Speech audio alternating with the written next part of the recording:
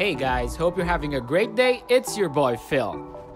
So today, I'll be returning to Geisha Asian Fusion to try out their sushi a la carte menu. So, what are we waiting for? Let's start the video.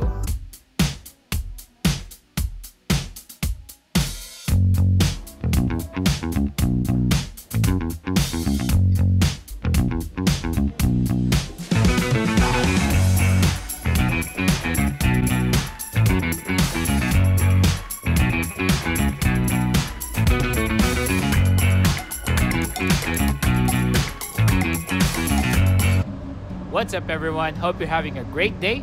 So today we are back at Geisha Asian Fusion where we are going to try 11 or 12 specific types of sushi that I chose a la carte. So uh, they have set menus for the uh, sashimi platter and the chef's sushi platter, but I decided to choose from their a la carte menu. These are specific types of sushi that include some shellfish and some different types of fish that you can't see on their chef sushi platter or their sashimi platter. And these are the sushi that you will witness in the video. Oh, that looks great.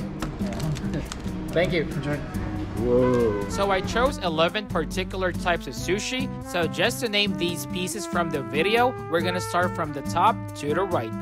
So that's gonna be squid, king salmon, red clam, jumbo shrimp, sea bream, scallop, and to the bottom, salmon, shrimp, octopus, sea urchin or uni, and lastly, fatty tuna.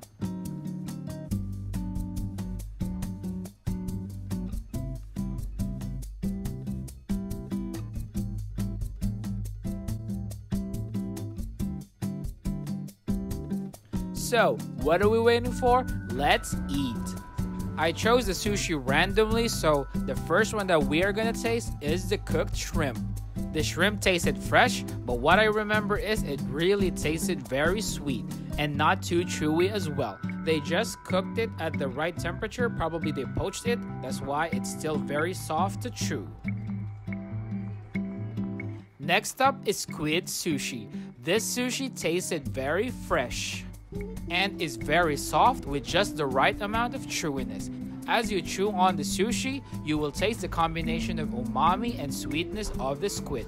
The yuzu pepper on top adds the contrast and sour flavor that contrasted the umami and the sweetness as well. Next is sea bream, slightly charred with yuzu pepper on top. The charring process activates the oils and the flavors in the meat and the fat. So as you chew along the sushi, you can taste that flavor of the oils and the creaminess of the meat.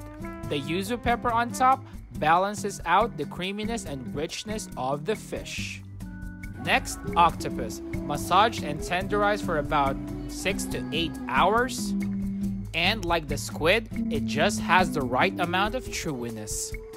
In terms of flavor though, the squid has more of that squid flavor, but still, this is tasty and just has the right amount of chewiness. And this was a real treat. In Asian cuisine, the tomalley from the shrimp head is considered a delicacy. Rightfully so, because it contains that fatty, rich tomalley taste. The batter itself is light and crispy, and the tomalley inside the shrimp head is just rich, fatty, full of flavor, and mostly umami. As you chew on the crispy head, all of the flavors just circulate in your mouth. Really, really delicious.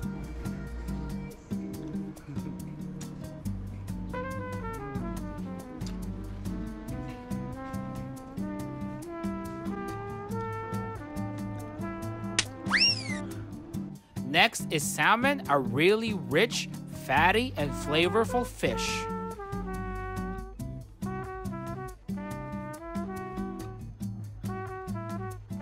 The fatty, rich flavors and oils just melts in your mouth. Salmon flesh is a very rich and fatty fish. So king salmon belly multiplies that flavor, richness, and that fat 10 times. And it also has 10 times the umami.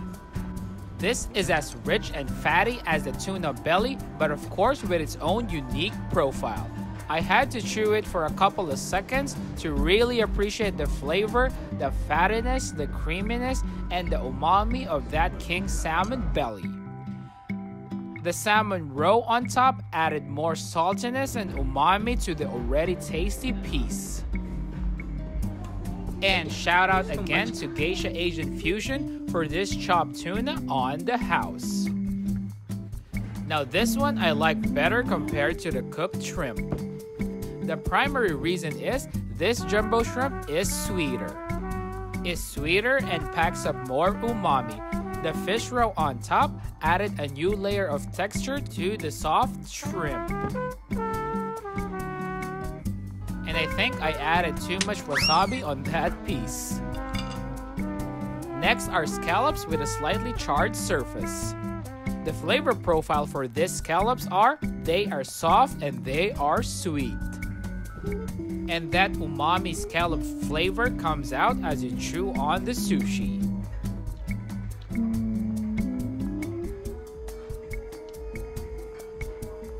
This red clam is really tasty, and just like the squid, it is soft with just the right amount of chewiness.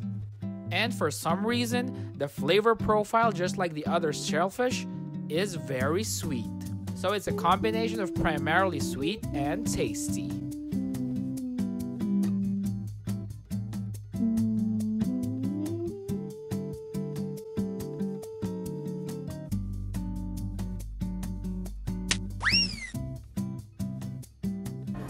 I saved the two best pieces for last sea urchin and fatty tuna.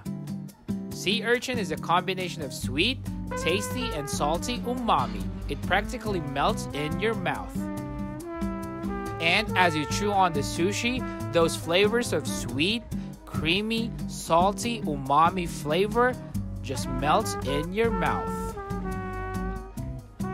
Just like creamy, salty, flavorful butter.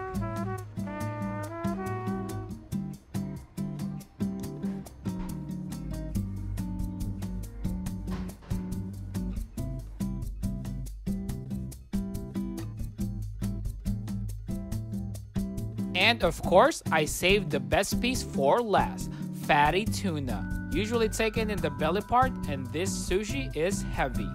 It's basically tuna butter, much like the king salmon belly, and it has a rich, creamy, fatty taste. It basically melts in your mouth, and you have to really chew it in order to appreciate and circulate all the flavor of that tuna fat in your mouth. So for this night, my favorite pieces were the king salmon belly, the uni or sea urchin, and definitely the fatty tuna belly.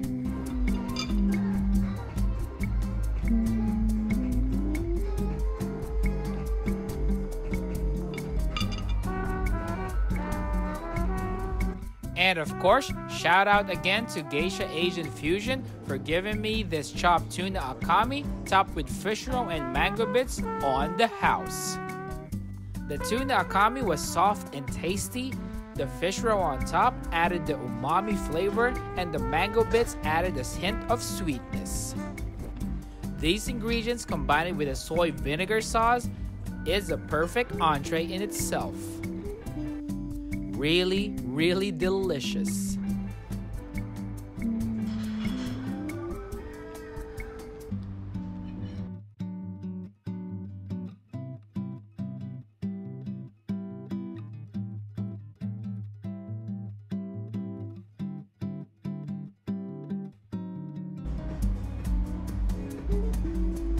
And my last dish was some oysters. Oysters, of course, were 100% umami flavor.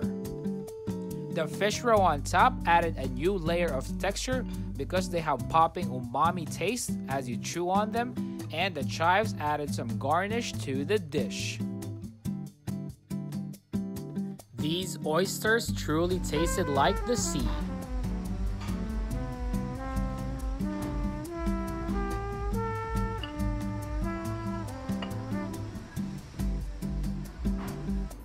Comment down below if you can recognize this fruit. It's a green fruit that they served after the oysters. They tasted really sweet with a slight hint of lemon.